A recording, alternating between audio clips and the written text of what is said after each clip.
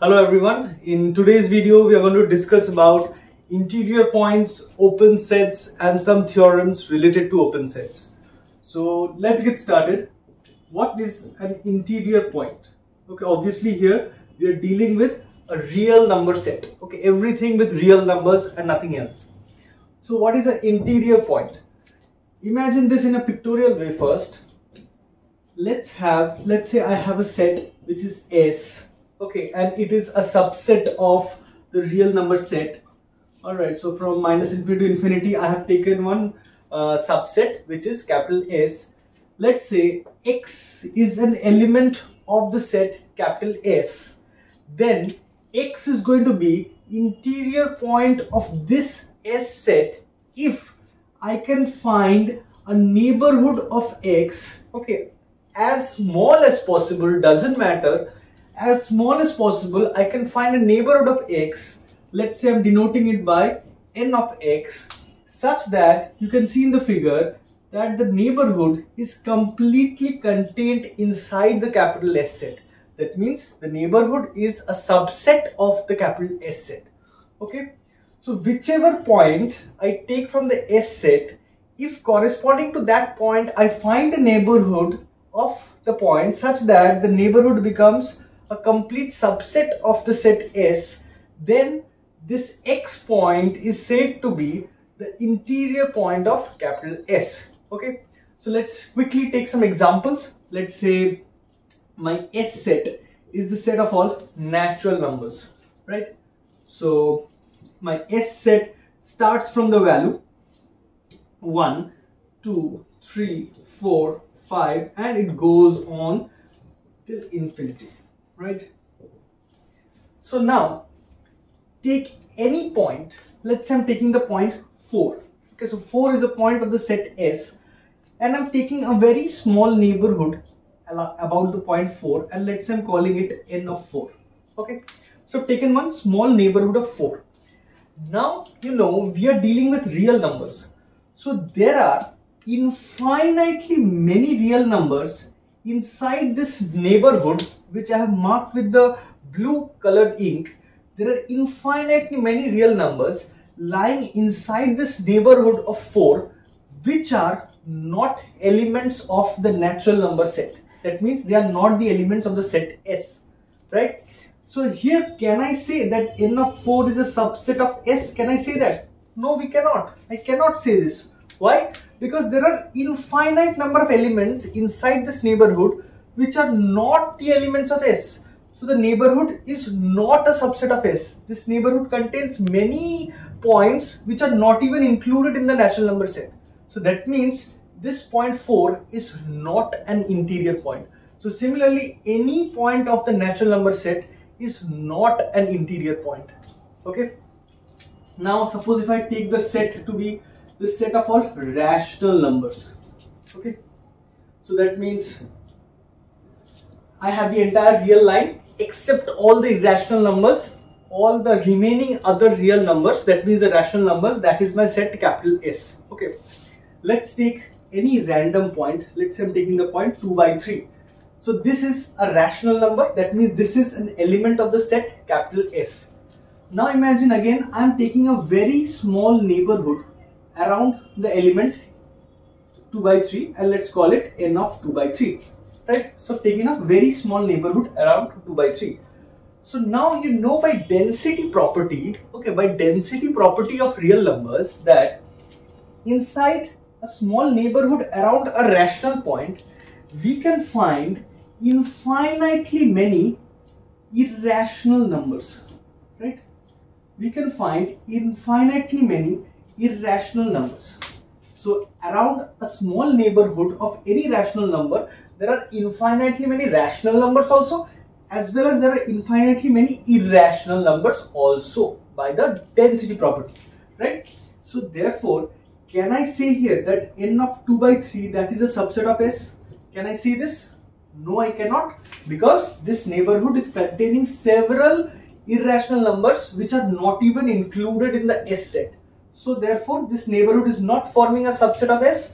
So that means none of the rational numbers are interior points of this set, right? So now let's take an example where some point is a interior point actually. So you can take this interval, let's say I'm taking an open interval 1 to 3. Okay. So that means I've taken the open interval 1 to 3 and choose now choose any point inside this neighborhood, inside this interval. Okay, this is my S interval. Let's say I am taking my point to be the point 2. Okay.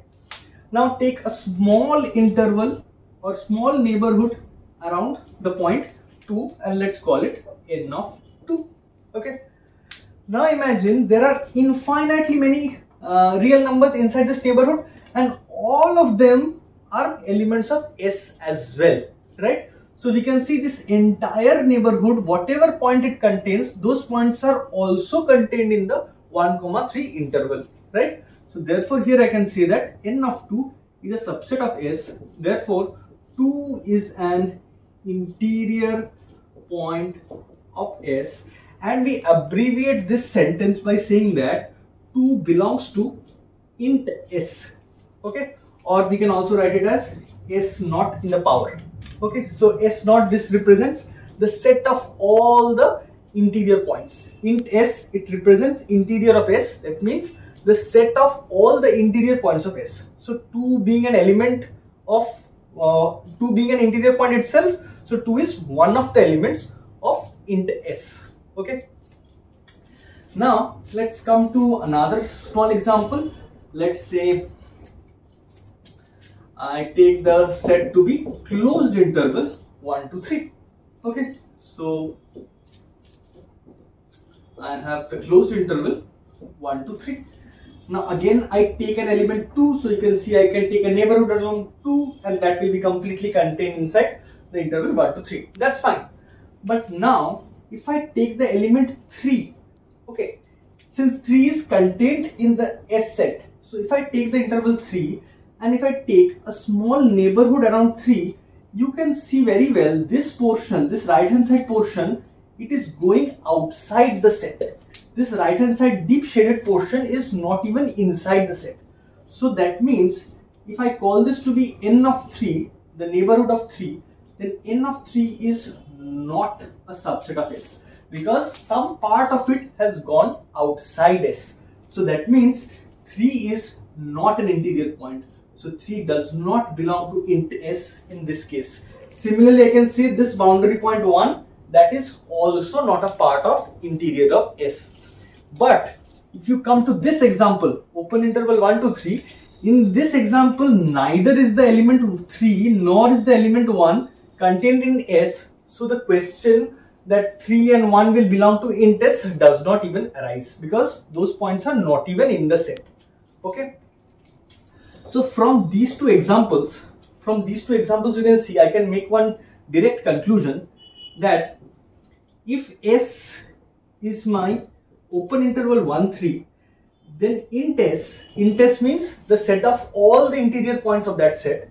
So you can see all the points that I take in between 1 and 3 excluding 1 and excluding 3 because that's an open interval. So excluding 1 and 3 whatever point I take in wherever position I take, I can always find a neighborhood that will be completely lying inside S. So that means in this case, int S will be the set itself, right? But in this example, int S will not contain the point 3 and it will not contain the point 1. Although these are two elements of the S set, but they are not interior points. Other than 3 and 1, all the points inside this part, all of them are going to be interior points just like this example. So in this case, the interior of S will be open interval 1, 3. The set was closed, but the interior becomes open. Okay.